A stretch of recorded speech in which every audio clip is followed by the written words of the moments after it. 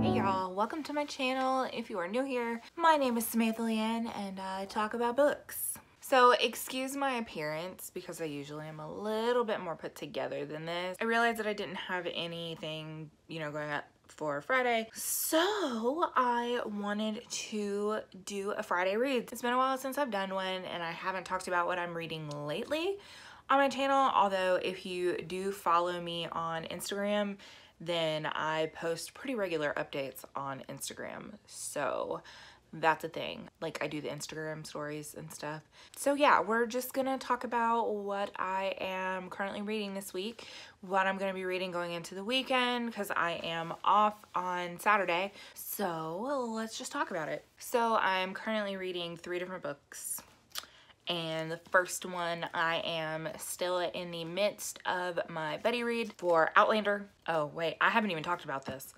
I'm saying I'm still in the middle of it. I haven't even talked about this on my channel. It's all been on Instagram stories. So I've been doing a buddy read for this book. This is actually a reread for me. This is the third time I'm reading it. Do not judge me. But I was, was reading this with six other people.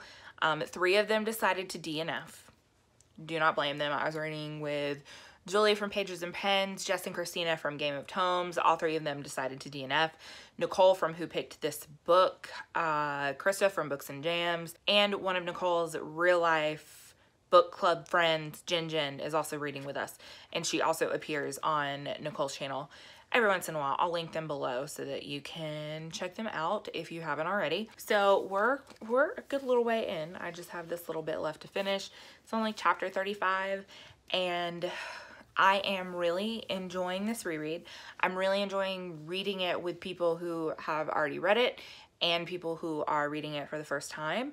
I will say that the first two reads that I did of this, I loved and I ended up giving it five stars. This is definitely not a five star book anymore. I'm definitely as a becoming a more critical reader, I'm definitely like seeing things that I didn't necessarily see before. So it's definitely changed my opinion, but I do still love it. I still love Jamie. He's still my book husband, whatever. So, but I'm really enjoying the experience more than anything of, you know, doing this buddy read. So, so the next book that I'm going to talk about is A Murder of Crows. This is by Ian Skewis. This is, oops, whoops. I requested this on NetGalley. It is an e-arc. It comes out in March, I believe. But I've got two different books that I was approved for arcs of that are coming out in March. So I wanted to go ahead and read one this month so that I don't hate myself next month. I'm literally only 10% of the way into this. So my first impressions are not great, honestly obviously this is like extreme first impressions because I'm literally 10% of the way through this book.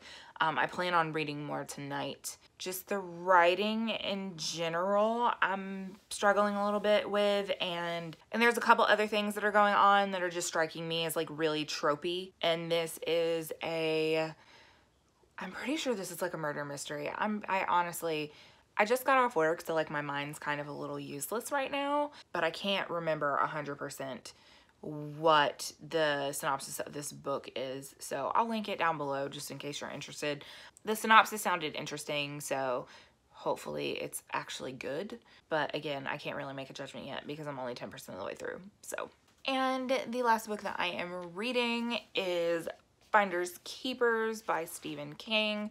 I am, I don't know, I'm a little bit more than halfway through at this point a little bit more. I'm liking it. I'm not liking it as much as Mr. Mercedes though. We spent like the first 130 pages like setting up the whole story and it's taken like three quarters of the way for everything to like really come together and we aren't even close to the main conflict yet so I'm just like I'm three quarters of the way through so I only have a quarter of the book left so I have a feeling like the pacing from here is going to pick up, but I kind of wish that it had been a little bit more interesting up until this point.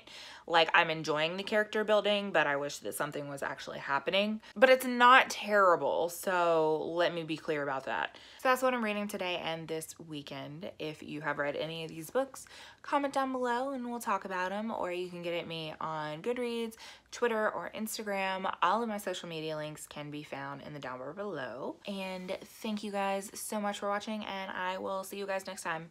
Bye.